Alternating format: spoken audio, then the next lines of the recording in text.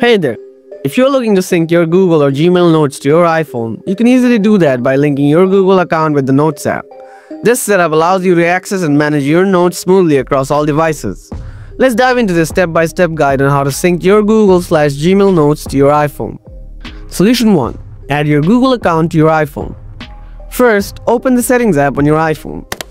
Next, scroll down a bit. Tap on Apps. Then scroll down and select Mail. After that, tap on Mail Accounts. Now choose Add Account. You'll see a list of account types. Select Google from there. Now go ahead and add your Google account here.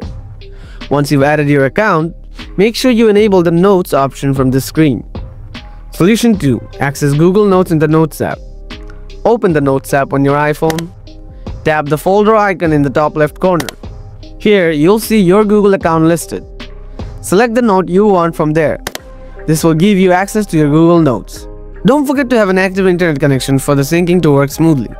Any changes you make in the Notes app or Google Keep will sync back to your Google account and vice versa. By following these steps, you'll be able to sync your Google slash Gmail notes to your iPhone effortlessly, ensuring that you can access your important information anytime, anywhere.